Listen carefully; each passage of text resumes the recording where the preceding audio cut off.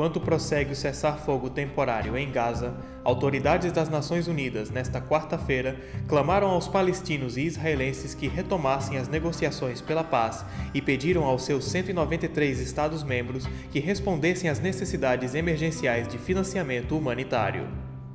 We must spare no effort to turn the current calm into a durable ceasefire that addresses the underlying issues of the conflict, ending rocket fire from Gaza, weapons smuggling, opening the crossings, lifting the blockade, and bringing Gaza back under one Palestinian government that accepts and adheres to the PLO commitments. Few nations have the courage to admit that Hamas is committing a double war crime, targeting Israeli civilians while holding, hiding behind Palestinian civilians. Fewer still have the courage to admit that Hamas is willing to see its own children killed so it can build sympathy for its cause. By not vocally and unequivocally condemning Hamas, you are condemning another generation of Israelis and Palestinians to further suffering.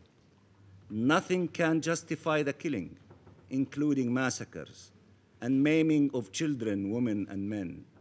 Nothing can justify the wanton destructions of homes and civilian infrastructure, inflicting a humanitarian disaster with massive health, social, economic, psychological, and developmental consequences.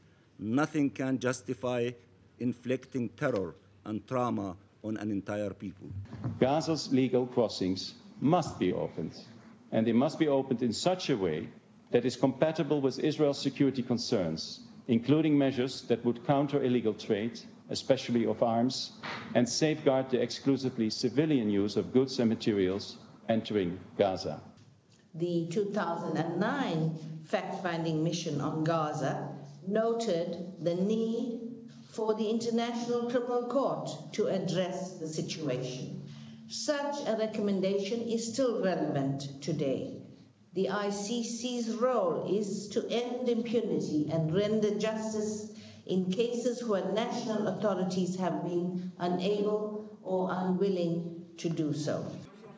Enquanto isso, o PMA, Programa Mundial de Alimentos, está incrementando sua rede de distribuição em Gaza para garantir que as pessoas vivendo em abrigos recebam comida fresca. Seu objetivo é transportar cerca de 10 toneladas de pão por dia de Jerusalém a Gaza. WFP assists approximately 270,000 displaced people in 95 UNRWA shelters and around 15,700,000 uh, displaced people in 19 public shelters with emergency food ration. We are also reaching approximately over 2,000 patient and hospital staff with emergency food ration. Centro de Informação das Nações Unidas para o Brasil, UNIC Rio.